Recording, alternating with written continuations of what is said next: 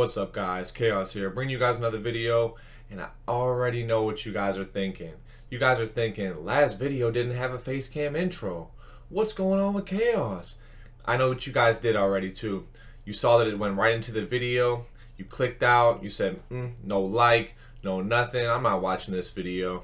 Well, I got you guys covered today. We got a face cam intro. Guys, I'm doing something a little bit new with the channel. Uh, so we're late in the year for Madden 19, so there's not really many tips for me to give you guys as far as Madden tips. I gave you guys tips pretty much all year. Everything's pretty much known now, so I'm going to be focused on gameplay for the next couple months or so. Madden 20, you guys already know. We're back to tips and gameplays. Always got to do both. Can't just do tips or, or just can't do gameplays. But for now, we're focusing on gameplays considering the fact that it's so late in the year. Today, I'm bringing you guys a weekend league game. It's a really, really good game. And if you guys haven't checked out my community posts, make sure you guys check that out because I'm talking about all the different type of gameplays that I'm going to be bringing you guys. I mentioned them in there, but it's regs, money games, MUT games, weekend league, house rules, salary cap, whatever. If you guys want anything in particular, uh, go in there. Let me know what you guys want. Put a comment in there, and I'll try to make it happen. But if you guys could, man, I'm just to sell off for a second. Make sure you guys check out the description below for my ebooks. I give you guys my full offense, my full defense. During these gameplays, if you think I'm doing a good job and you guys are interested in doing the same thing, make sure you guys check that out. And lastly, man, I just want to thank you guys for being such great viewers to me. You guys always drop the like for me. You guys always hit the sub for me. And I see a lot of you guys being a notification gang. So I appreciate all you guys for doing that. I'm just going to ask that you guys would continue it. Drop a like for me. Hey, hit the notification so you guys don't miss a video. But man, let's jump into this one. I know, boys. I know that was one take. Impressive, I know. But in all seriousness, let's get into the video. Uh, this is a game against a guy who maybe have been a little bit of an inferior opponent, but it gave me it gave me trouble, and I'm going to try to show you guys my mistakes throughout the game, as well as. And also, I wanted to mention to you guys, I have something big planned for May. Just be on the lookout for that. Just wanted to mention it. It's gameplay. It's gameplay kind of news, uh, kind of idea type thing, but enough with that. Let's get into the game. See here, he's starting on his first drive. He's he's a runner, man. You already know what runners like to do. They're gonna they're gonna run the ball until you stop it, and then they're gonna pass with simple, usually simple passes where once they get their completion, they're back to the run. So you when you make them, you need to force them to pass. Number one, and number two, when you do force them to pass, you have to make sure you get off the field because if you allow them to move the ball with that pass, they're back to the run again, and you just have to start basically all over. Right here, third and seven. Pass him down. We force him into it. We did a good job against the run. Now we need to get our stop. He goes to verticals, and we're all over it. We get ourselves a yick. We played the first possession perfectly. We stopped his run. We forced him to pass just like we wanted to do, and we got off the field. Right here, he came out in a little bit of cover two with a baseline press. That's not going to work. You already know I'm going to outside fade that every single time. You see here, he moved the guy back this play. He did a good job with that. I still tried to beat him deep, uh, just to see if he was still in cover two, because he moved his deep half down, so if it still was a cover two show, I would have beaten him deep, but it was cover four, so I just hit my wheel route. Nothing wrong with that. Right here, nothing's really open, just scrambling. I'll throw the ball away. As always, man, if you guys don't have anything open, uh, there's nothing wrong with either one, throwing the ball away if you're outside the pocket, or if you're in the pocket, taking a sack. A sack's better than an interception. You still have other downs to fight. So that's those are the two things I always recommend is throwing the ball away and taking a sack when when you have to. Right here, we motioned in a block. We knew he was going to send the dogs. Trying to find something open, and we throw a laser. So at this point in the game, here's what I'm thinking. This dude's a runner. I already forced him to, to throw an interception. I just scored an easy touchdown. I think I might have blown this kid all the way out. That's what I'm thinking, really. And uh, and basically, he he shows me I should have been thinking otherwise. He comes out with a nice little pass right there, shows himself that he can, shows me that he can really pass the ball a little bit. That was the first and ten. He could have ran the ball, but he wanted to open up his passing game a little bit. I thought he did make a mistake though. He went right back to the run here, uh, but maybe that's what he's comfortable doing. So I'm not going to say it was a mistake, but if you if you show you're able to pass, pass a little bit. And right there, he, he throws a nice little dot across the uh, to the sideline. So he's opened up his playbook a little bit doing a good job here. Because this is a really important drive for him. If he doesn't get seven, he's in big trouble because he's already down a stop in the score. I get the ball at half, and with the way the clock's working, I'm going to have the last possession of the half too. So he's really in some trouble. Right there, almost got rather unlucky. Uh, we would have taken it though, but we dropped the pick. Third and 12. Big play here. We force him to pass. He goes to verticals again.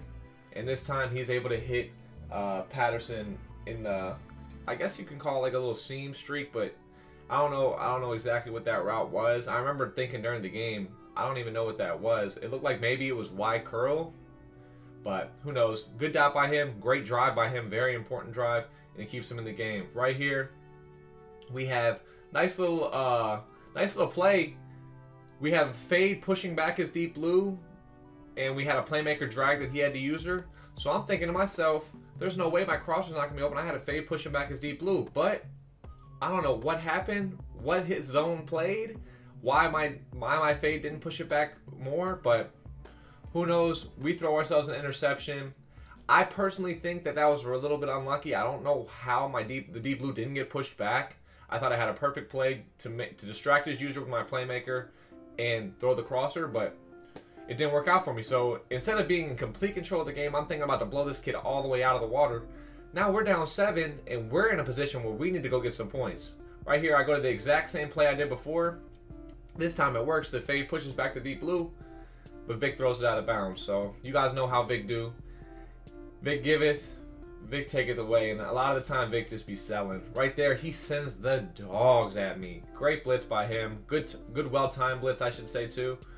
Uh, to pick, uh, to force me into a third and 20. Right here, I'm thinking just get half back which is what I do. I force myself to a fourth and 10, and I really, really need a first down right here. And we have something open, and we get it. we get we get really lucky. I'm not gonna lie. So right there, I probably should have just taken my table route. He didn't have a flat. Take my table route, and that would have probably been a free 10 with a blocker from the corner route.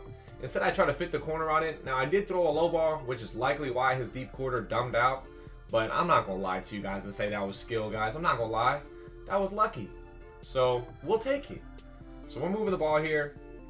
With 36 seconds left, I'm thinking touchdown here. I'm not thinking field goal. I have plenty of time. I just need to pick up my, my yards, and if I do have a short pass, I need to get out of bounds. But he sends a screamer. We don't we don't pick it up, and and we basically settle for three now. Like we're we're not gonna get seven. We we can chuck one up, but we're likely getting three here now, which isn't the end of the world. It's nice to get points but it's it's definitely not it's definitely not what we wanted. We wanted seven. We wanted to get back that pick six that we threw, but we didn't get it. So all good. Doesn't matter. We're down 14-10. Now, this is an opponent that I said I felt was inferior going into the game. I'm not 100% sure. This dude could be really, really good. I just personally, from the way he's played, felt like I was the superior player. So all I need to do right now is just make sure that I go get seven out of the halftime and win this game. So we're down four here. Good defense by him. He's forced a fourth and five. But we go to our money play. And somehow Shannon Sharpe gets bagged my man. Now, I told you guys on the first corner I felt like I got lucky when I when I threw the completion. Right there, I felt like I got unlucky. I feel like Shannon Sharpe's going to beat a linebacker man-to-man -man on the corner route 9 out of 10 times, if not more so. Regardless, he got himself a stop. Now we're in a position where if we give up seven, we're losing this game. This if we give up seven right here, we're probably not going to win. So I have to get real stingy, and I need to make sure I get off the field right here. So we have a third and six. We're forcing them to a passing down. We man up Deion Sanders on Ricky Williams, and he gets routed. You see me in the background. I was I was heated on that one. I thought we played perfect defense once again. Deion Sanders man up with a running back. I don't think he should ever, ever, ever get beat. But he did, man. So he gets a first down, he moves the chains, and he's one uh, step closer to a touchdown to finish this game off. We're going to try to get stingy right here, though. It's third and three. I need to get a stop. I'm manning up everybody to stop the run right here. I know he's going to the run. I man up the whole team. I know that looks like a run commit, right? It looks like a run commit. It's not. I have everyone manned up. I released videos on that earlier this year. That's how I stop the run. I man up the team. They all become part of the run fit, and we get off the field. Now, there is nothing I can settle for other than seven right here. Three will not cut it. I have to get seven, and this is probably the most important drive of the game. I've really done a really good job of choking this game away, really. I really have. I mean, the beginning of the game, we got a stop, we got seven, we're thinking we're about to dominate them, and it's just turned around on us really bad. Right there, big time laser on third and nine. I had my out route open as well, but I figure why not take my larger chunk and pick up a first down. Right here, we hit our corner route. We try to go to that low ball we went to before.